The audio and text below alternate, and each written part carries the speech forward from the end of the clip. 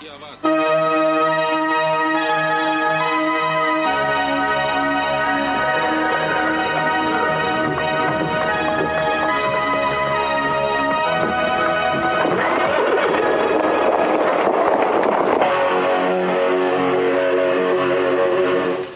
эфире «Ночные новости» в студии Александр Гурнов с обзором главных событий прошедшего дня. Здравствуйте. Сегодня Россию потрясли два мощных взрыва. Один произошел в Петербурге, где курс доллара на валютных торгах подскочил до 302 рублей, а другой в Уфе, где в результате взрыва пожар охватил нефтеперерабатывающий завод. Девять человек пострадавших. Таков результат аварии, произошедшей 23 сентября на Новоуфимском нефтеперерабатывающем заводе. В этот раз мощный взрыв разрушил установку по производству высококачественного бензина, которым, кстати, заправляется большинство кремлевских машин. Руководство предприятия причину взрыва видит в отказе одного из новых импортных узлов установки. Новый кран был поставлен югославского производства. Совершенно новый. Не старое оборудование. Следствие, которое уже началось, пытается определить ущерб от аварии, но пока безрезультатно. Думается, точный ущерб определить так и не удастся, потому что цена на нефть продолжает расти. Именно это, кстати, управляющий валютной биржей считает главной причиной падения рубля в Петербурге. И, к сожалению, повышение цен на нефтепродукты обесценивает рубль не только в Петербурге и не только на валютных торгах.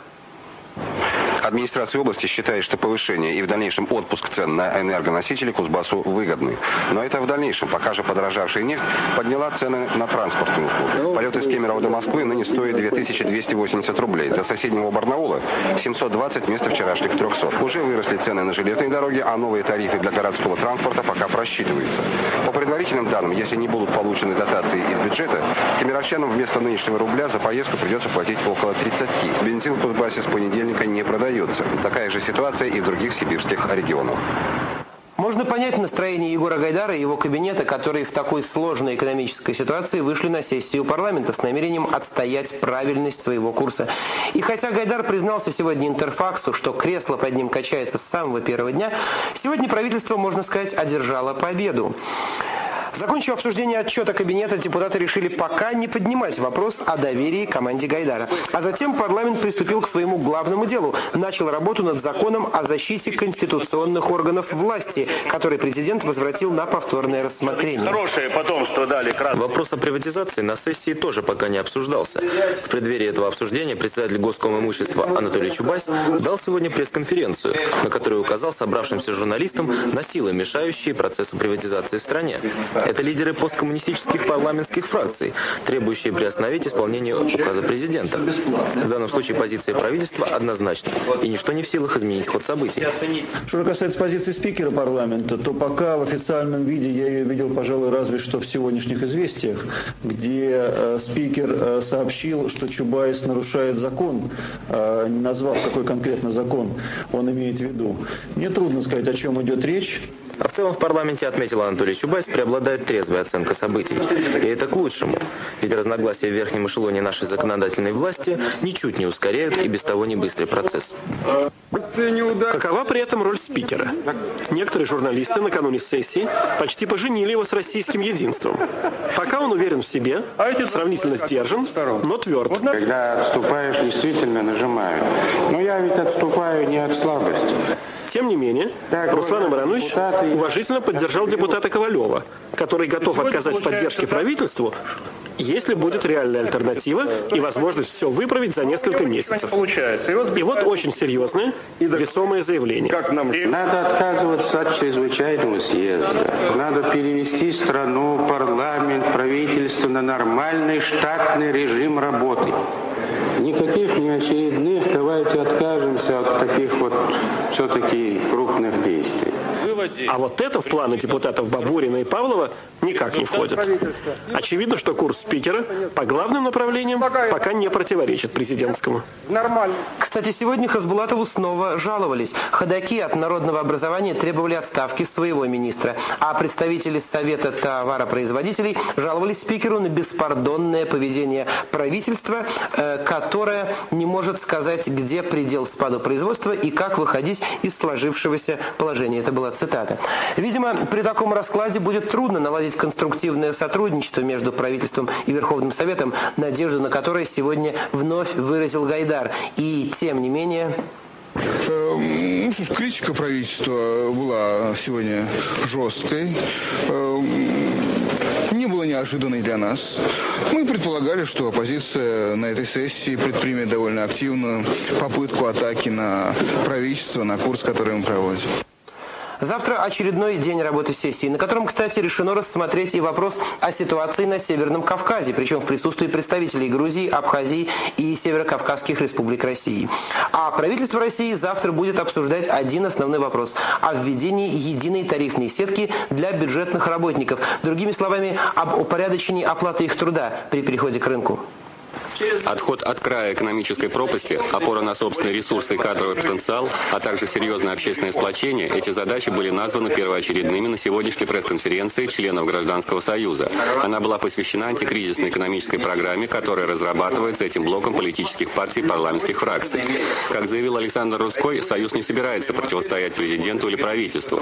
Он стремится предлагать разумные действия, активно участвовать в преобразованиях. Экономическая программа Союза – первый крупный опыт в этом направлении. Аркадий Вольский, говоря об отличиях программы Союза от правительственной, заметил, что кабинет Гайдара сделал три крупные ошибки. Отстранил от разработки программы многих известных экономистов-рыночников, недостаточно изучил опыт реформ в Китае, где частный сектор развивался параллельно госсектором, и уделил много внимания макроэкономике, игнорируя микроэкономику. На пресс-конференции сообщили, что через неделю программа Гражданского Союза будет вручена президенту России и вынесена на рассмотрение Верховного Совета. Сегодня состоялось очередное заседание Политсовета партии экономической свободы, на котором обсуждались вопросы подготовки первого ратификационного съезда этой партии, проведение которого назначено на 5 декабря. Константин Боровой и председатель Объединения профсоюзов России Сергей Храмов объявили о начале тесного взаимодействия соцпрофа и ПС. Мы реализуем концепцию социального партнерства. Это э, то, что, чего достигли э, ну, страны западные. Кстати, сегодня же нам стало известно, что Константин Боровой готов принять активное участие, в том числе и деньгами, в поисках американских военнопленных на территории России, тех самых со времен Вьетнамской войны, о которых президент говорил во время визита в Вашингтон. Сам же Борис Ельцин принял сегодня в Кремле сопредседателя Советско-американской комиссии по делам пленных и пропавших без вести. Он передал господину Туну несколько документов о судьбе двух американцев, судьба которых, как отметил российский сопредседатель комиссии профессор Волкогонов, трагично. Бывший госсекретарь США Киссинджер опроверг утверждение бывшего директора ЦРУ о том, что последние американские военнопленные покинули Вьетнам в 73-м. По мнению Киссинджера, некоторое число пленных по-прежнему находится на территории Вьетнама.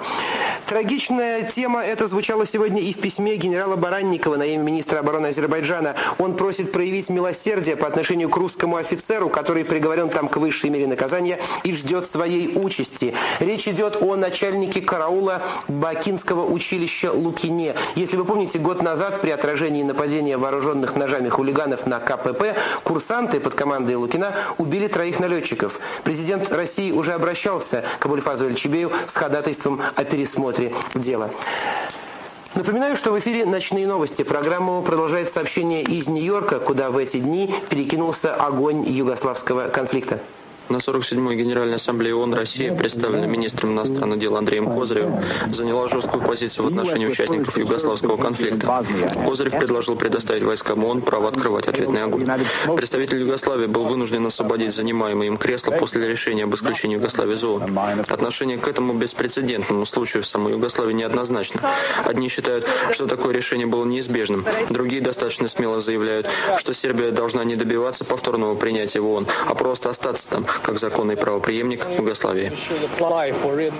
Для обеспечения доставки гуманитарной помощи в Сомали прибыли еще 500 военнослужащих пакистанской армии. Это первый случай отправки сил ООН в африканскую страну за последние 25 лет.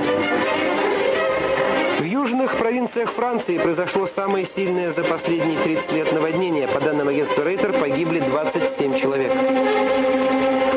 Телекомпания CNN вновь возвращает нас к событиям в Югославии. В ООН переданы документы о военных преступлениях сербской армии на территории Боснии и Герцеговины. Сербская программа так называемой этнической чистки очень напоминает нацистские концлагеря Второй мировой войны.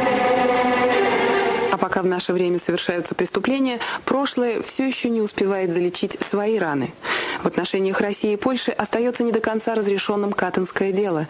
До сих пор проводится расследование фактов гибели тысячи польских солдат и офицеров на российской земле. На каком этапе находится сейчас расследование? Уже собрали очень много документов. Сейчас анализируем, ищем других свидетелей.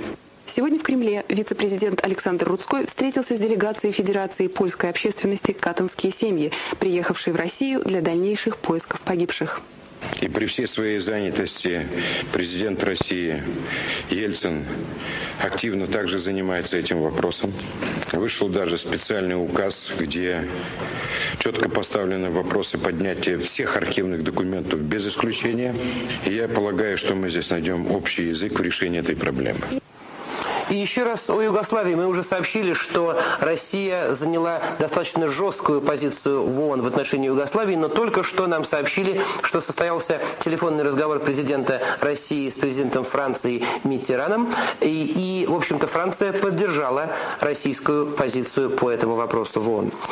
Ну а теперь сообщение из горячих точек на территории того, что мы называем СНГ. Число их, к счастью, в полном смысле этого слова сегодня ограничивается Абхазией и Карабахом, но там ситуация, к сожалению, приобретает все больший накал. Абхазские источники сообщили о новых нападениях, обстрелах грузинской стороной их позиций, а также деревень в Учамчирском районе.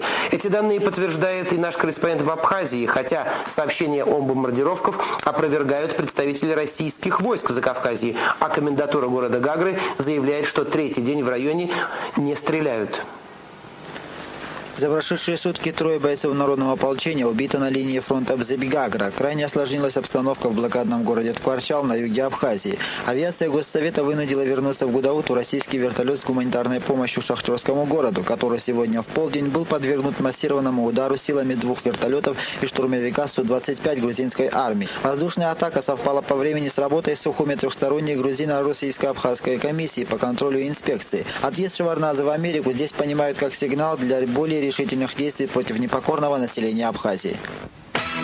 Лачинский коридор, который является единственным связывающим Армению с Нагорным Карабахом, вопреки заявлениям азербайджанской прессы, полностью контролируется силами самообороны. Дорога действует. И более того, по ней возвращаются в Степанакерт многие беженцы. И после этого весьма убедительно сообщение штаба сил самообороны Нагорного Карабаха, который со всей ответственностью заявил, что со стороны азербайджанской армии в последнее время в Нагорном Карабахе не было захвачено захвачено ни одного села.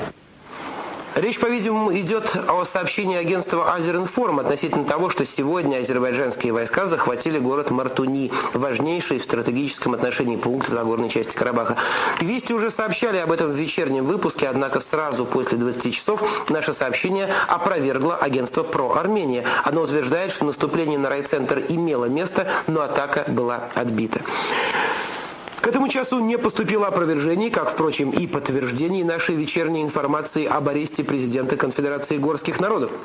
Напомню, по сведениям пресс-службы абхазского представителя в Москве, Шанибов арестован сегодня сотрудниками Министерства безопасности России с санкцией прокурора Кабардино-Балкарии и находится в здании Министерства безопасности в Нальчике. Заканчивая кавказскую тему, стоит упомянуть о двух письмах, в которых Джахар Дудаев выразил сегодня Ельцину и Рудскому свое удовольствие относительно прошедших в Москве переговоров между чеченской и российской делегациями. Сегодня же Рудской, информируя президента о результатах этой встречи, предложил Ельцину и Дудаеву подписать документы о необходимости нормализации отношений между Российской Федерацией и Чеченской Республикой. А теперь о переговорах, прошедших в Риге. Вчера и сегодня государственные делегации России и Латвии обсуждали проблемы торгово-экономических отношений, порядок взаиморасчетов, вопросы военные и гуманитарные. Латвийская сторона заинтересована в скорейшем выводе частей российской армии и настаивает на завершении вывода до конца следующего года. Российская сторона пока называет год 94 и обращает особое внимание на соблюдение прав человека в Латвии, в частности людей некоренных национальностей. Российские эксперты убеждены, что сначала следует договориться по общим вопросам, вопросам. Тогда возможны любые конкретные соглашения. Например, Россия готова продолжать поставки на предприятия, в продукции которых она заинтересована, но не хочет, чтобы нефть, цветные металлы, другие национальные богатства беспрепятственно уплывали через Балтийские государства на европейский рынок. Как всегда, сложны проблемы экономики и взаиморасчетов. Вопрос о взаиморасчетах России и Украины серьезно заявил о себе одновременно с распадом СССР. В 1991 году торговый дисбаланс между двумя республиками составлял 12 миллиардов долларов в пользу России. В нынешнем году вопрос сильно осложнился из-за беспорядков в банковских операциях. В августе Национальный банк Украины объявил, что задолженность российских предприятий составила 224 миллиарда рублей против 96 миллиардов украинских. С российской стороны все чаще стали раздаваться обвинения Украины в рублевой интервенции интервенции, как одной из главных причин роста инфляции в России. Между тем известно, что российско-украинская торговля составляет 70% республиканского товарооборота стран СНГ, и решение о замораживании ее финансирования, по мнению ряда наблюдателей, может усилить экономический спад в России и ускорить выход Украины из рублевого пространства. Большинство москвичей и тех, кого называют гостями столицы, уже давно отметили, что один из центральных наших кинотеатров «Мир» стал совместным предприятием. Отметили, кстати, и изменившийся совсем не в худшую сторону репертуар и интерьер кинотеатра. Но оказывается, за всем этим стоит серьезная склока между Москвой и новыми владельцами «Мира». Вести уже выступали по этому поводу на прошлой неделе, причем достаточно резко. Сегодня в уже более спокойном журналистском расследовании Владимира Мартынова некоторые подробности.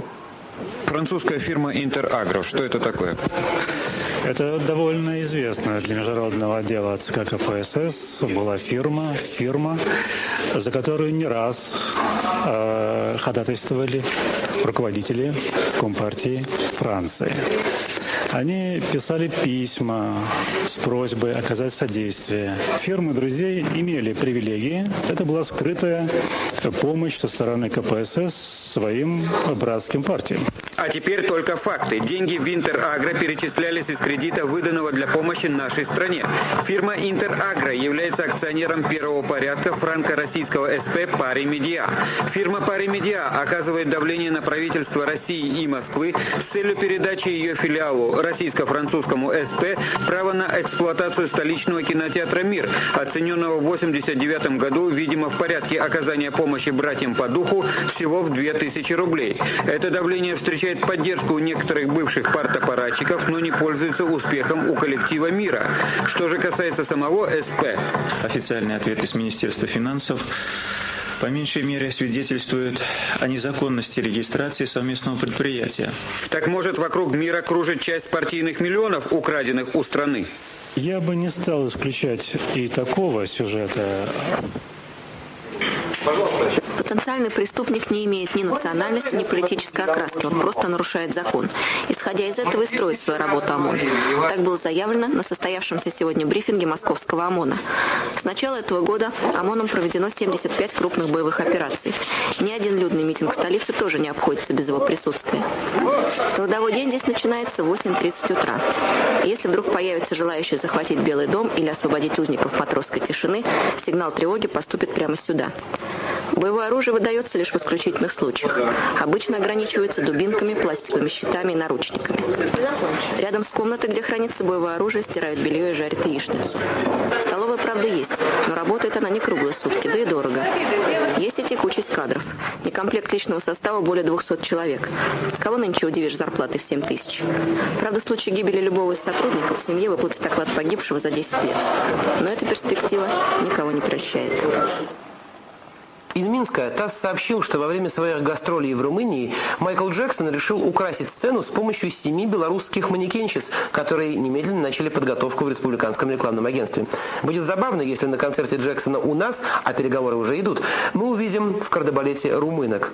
Но это только будет. А сегодня самое веселое место в мире – это, конечно, редакция журнала «Крокодил». Сегодня в Москве юбилей. Журналу «Крокодил» 70 лет. Все эти годы он отнюдь проливал крокодиловые слезы, а смеялся, высмеивал и смешил, даже когда было совсем не до смеха. 70-летний возраст. По бреву крокодилы живут гораздо больше ста. Так что наш добрый знакомый в самом расцвете сил. А потому крокодильцы точат свои острые вилы и надеются выжить, несмотря на цены, бумагу, соцпечать и прочие неизвестности. С помощью верных читателей и доброго правительства. У нас, слава богу, президент с юмором. Это человек, который понимает, что без шутки, без улыбки жить, жить нельзя. Без бензина можно прожить, уверяю вас, даже тем, кто его пьет. У крокодила же есть мощный творческий потенциал, озорные художники и еретики-сатирики. А мы постараемся, чтобы он был смешнее, веселее, демократичнее, доходчивее. А сейчас довольно грустная, но хорошая новость, которой мне хочется закончить передачу. Четыре из чертовой дюжины петербургских приютов для беспризорников получили статус муниципальных. Это значит, что, по крайней мере, проблемами и финансированием части этих несчастных ребят будут заниматься городские власти. Слава Богу. Счастливо.